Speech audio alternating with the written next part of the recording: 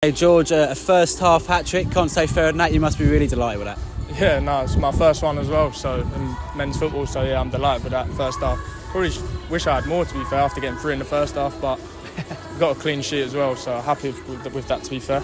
you're you a classic greedy striker? You just said you wish you got more, but I mean three was more than enough. But Yeah. you just want to get more and more goals. I think is that is that four and four now for you? So that's not not bad four going. Four now, yeah. I was to be fair, Addy got me a couple of assists, and I was trying to get him one as well because he's fuming. He's not fuming, he's happy, but he's fuming at the same time. But we like I gave him an assist at Ches, and he's gave me two today, and looks like we're getting a good partnership going. So Talk us through those goals. I mean, you, you capitalised on a couple of little lapses at the back there. The first one and the third one in particular, uh, but the second one was another one where you really adjusted well, similar to that, that goal you scored against Dartford with your back to goal. But you just know where the goal is, and no matter where you're facing. yeah, no, it's just like I've been doing it for my life really. So just instincts and scoring. Just hope keep doing it. To be fair, like I just want to score goals. So however they go in, I'm happy. Whether it comes off my arse or.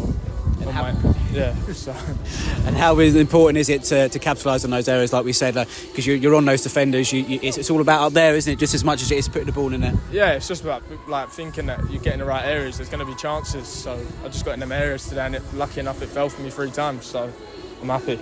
Brilliant. And the games are coming thick and fast now. Braintree on Tuesday. There's going to be plenty of Saturdays and Tuesdays coming up. Plenty of more opportunities to get more goals to your tally. So you must be looking forward to a, a busy schedule coming up.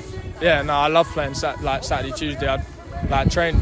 It makes training easier, obviously, because we have rest days and things like that. But I'd rather play games after games. Like obviously, as I said when I come in and done the interview, I just want to play games and score goals, and I've, I've started all right. So We had a nice tweet from your dad uh, during the game as well, saying "Go and grab the ball, George." So I guess you've done that. You grabbed the match ball, and uh, something that you make your family proud as well. yeah, it's like it's the first one, so I'm happy. Hopefully, many more.